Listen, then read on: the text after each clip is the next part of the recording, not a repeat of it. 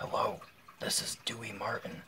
He was an actor that lived between 1923 and 2018.